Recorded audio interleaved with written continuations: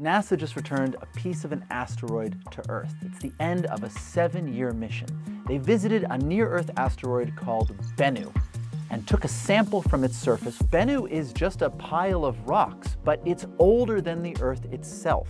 And that means that it has the evidence of what was here before anything else. In a way, it's all about carbon. It's an element that is absolutely essential for life on Earth. It's in everything from our DNA to the proteins that make us alive. And it comes from the deaths of stars. Carbon is produced in supernova as atoms are fused together.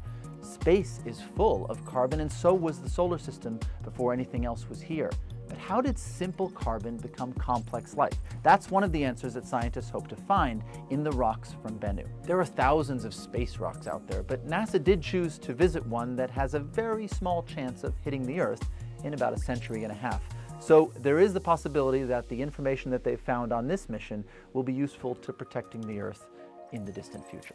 This is a big first for NASA, but it's not a first for the world. In fact, robots have been collecting rocks from space for almost 50 years. The Soviet Union sent a lander to the moon, which sent back samples in 1970, 1972, and after. And Japan visited an asteroid in 2010 and in 2020.